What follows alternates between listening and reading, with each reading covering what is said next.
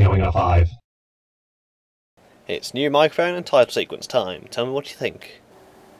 So here's your laser housing from Aixiz. And this is the 650 nanometers and the 12 by 30 mil. Rated at 5 milliwatt. So there it is inside the anti-static casing. Pull it out.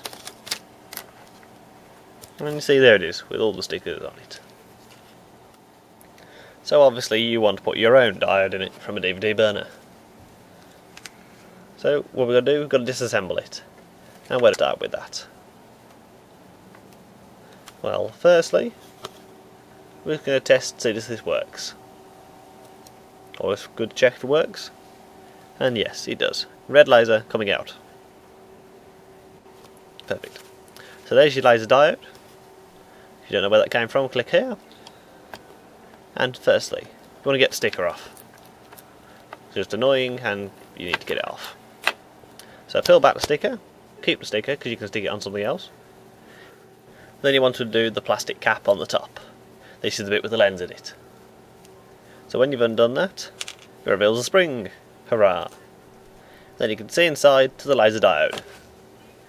This is the 5mw one that Aixiz put in. So you want to get the bottom off now. So hold the top with a pair of pliers and just twist. Simple as that. You've got to break the glue so it does need some force, but you can do it. Simple. Reveal it back and everything's covered in the glue that you to hold it still. Don't worry about it. Non-corrosive and doesn't harm me. And there's your diode. Again. So what we need to do, we need to get the diode and the driver out. And here's how you can do this. What you want is something that's going to fit inside that hole. Bigger than the diode, but not bigger than the case. Yeah. So you want it to fit in there, and what we can do, you're going to tap out the diode with a hammer. So what I'm going to use is this.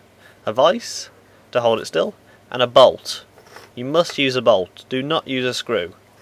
There is a big difference between a screw is pointy and a bolt isn't.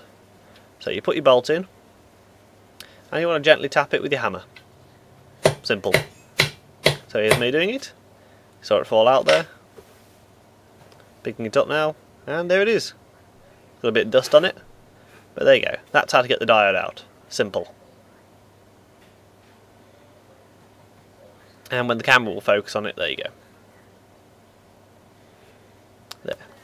So take your diode there, which you've wrapped up nice and safe, and you want to put it inside there.